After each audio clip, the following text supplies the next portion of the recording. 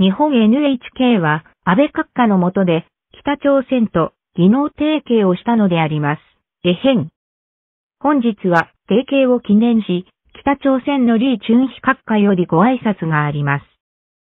조선민주주의인민공화국 핵무기연구소 상명 대륙간 탄도트 장착용 수소탄 시험에서 완전 상 北朝鮮の李チュンヒ閣下、 ありがとうございます。